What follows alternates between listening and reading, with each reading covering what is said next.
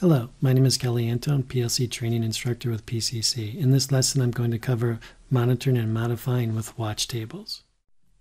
The main program block OB1 is already open, so what I'd like to do is start monitoring. So I'm going to select the monitor button, and this will start the ladder logic monitoring.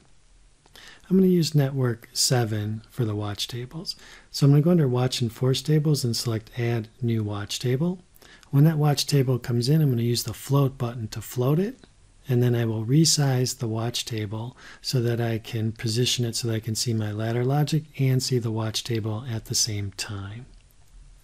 There's a variety of ways that you can add in values to the watch table. I'm just do drag and drop. So I just drag the normally open contact and it brought the address in with it. I can also just type in the first few letters of a tag name and select a tag. So I brought in switch 3 and light 3 at this point to start monitoring. So when I put the monitor values on, if I flip switch 3 on my PLC, it will change the values in the watch table.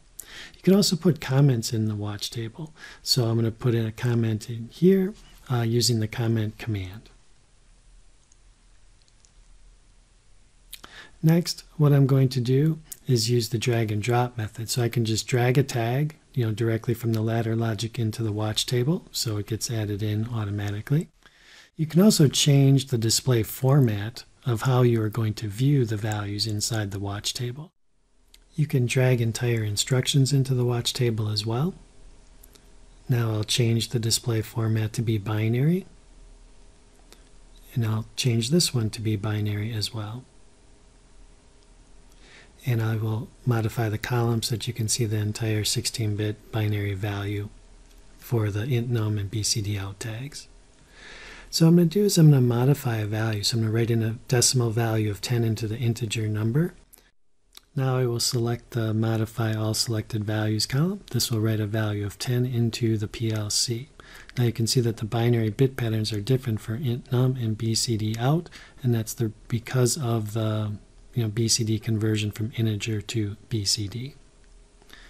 Next, I'm going to select my optimized data block, and then I'm going to put in a comment field that just indicates that I'm going to put in a DB address here because I can put data block addresses in the watch table as well. So the easiest way to do this is with the drag and drop method. So select the data block in the project tree and then drag in the desired uh, elements of the data block into the watch table. Now you can see the flashing bits are updating very fast. I'll modify the width of the column so that you can see the entire uh, tag name or element name. I'm going to turn monitoring off. You can press the glasses with a 1 by it and this will do one shot read. So each time you press that button it will do a one shot read of the values in the controller. So I put full-time monitoring back on. Next I will show modifying outputs and inputs with the expanded mode columns. So now you will see additional columns in the watch table. So I will resize those to, so that you can see the entire column headings. When permanent is set for the modified trigger, it will overwrite inputs and it will also overwrite outputs. I will enter in a modify value of 1, which is true for the output for light 3. I will activate all values with the modify trigger. When I say yes, this is a permanent modify. So now the light 3 on my PLC is actually on, even though the logic is telling it to be off. So you don't see that being reflected in the ladder logic. Now I will deactivate the modification. Then I will eliminate the modify value for light 3. And then I will enter in a modify value for switch 3. So this is going to overwrite the input now. So now I will activate the monitor value again.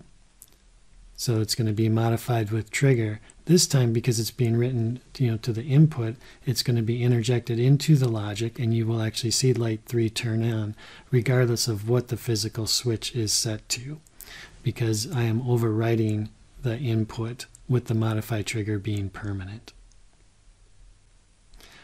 So I will turn the modifying off, go offline, because the modify with trigger was still active, it prompts you if you want to actually stop the modification process. This concludes the lesson on monitoring and modifying with watch tables.